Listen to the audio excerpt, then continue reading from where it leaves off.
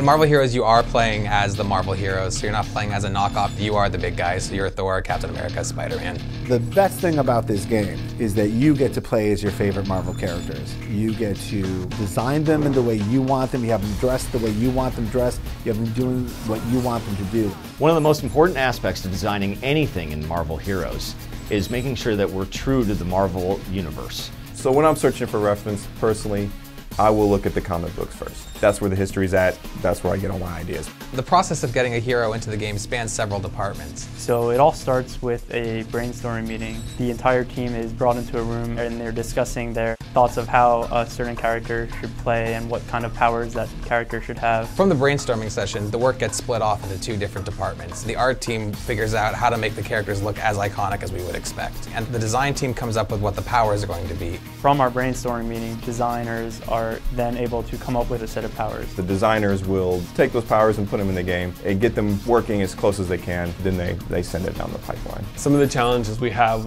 especially when we're looking at the look, is what is the look of these characters? It may have been portrayed in so many ways throughout the years. There are literally thousands of images in the Marvel Comics, and we like to use those as our reference. We digitally sculpt each hero in ZBrush. Every hero's costume is actually a separate digital model. So we try to match the source material as much as we possibly can. In most of the cases, we can hit it pretty dead on in terms of how it looks. On average, it takes us about four days to make a model. Sometimes they could take as long as a week or even two weeks. We end up with these super high resolution grayscale 3D models that we then paint and make a texture map, a normal map, and a specular map.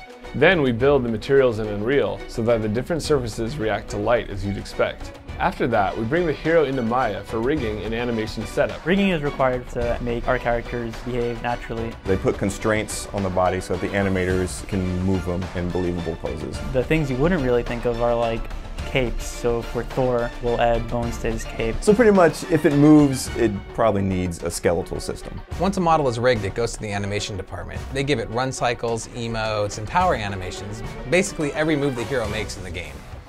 So once the animations are done, then the effects artist will take that into Unreal, and then they will add the particles and the models and mesh effects, materials, you know, everything to finish off the power. So if it's you know, Thor's hammer, we want to support that movement of the spinning and then have the throw and then the electricity of the hammer and everything kind of support it. And then finally, they will go to the audio group who you know give all the same sound effects. So Spider-Man's web thwip sounds like Spider-Man's web thwip to kind of put the icing on the cake to make it a full power. One of the things that I'm most proud of in Marvel Heroes is how differently every single hero plays from each other. There are dozens of characters in the game um, each one gets a lot of attention, a lot of detail to make sure that they're very unique. A unique playstyle, unique looks, unique costumes. It's a very different experience, a very different game with each of the different characters you can play as. So in the comic books, you know, you would find that Hulk and Thing look like they would have similar powers in a video game. We've decided that our version of the thing has a lot of team-oriented skills. The way that he plays ends up being very different than Hulk, who's all about DPS and throwing things and smashing and uh, you know really we want to make sure that we find a balanced experience for everybody. So playing as Iron Man, even at level one, we want to make you feel powerful. We want to make sure that he has all the repulsor beams and blasts that you come to expect from the character. And then as you progress him up and get him stronger, uh, he'll have different abilities that you know you would find in the movies or the TV shows or the comic books that are that much more powerful than what you had to begin with. When you put a point into the power trees with Marvel Heroes, uh, you unlock new abilities, and a lot of times it can do things that you have not had the ability to do in the game. It really makes you feel more like the character. Every single character has kind of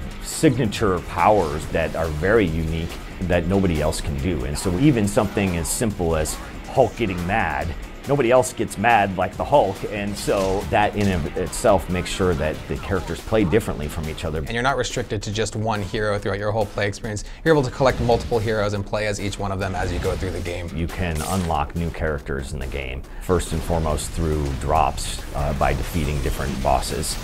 As long as we keep going, I think we'll be adding as many characters as possible. Um, it actually takes a lot of people a lot of time uh, to create these characters and to allow that quality to show through. So it's, it's a huge effort to make any character in our game. When we're designing a power and we consider it to be done, it isn't really done and it won't be done for a while. We listen to the community, we get feedback about what we're doing, and we try and incorporate that all into game balance as we make them all as best they can possibly be. Everyone who reads the comics has a different feel about what that character should be doing or what that character should look like.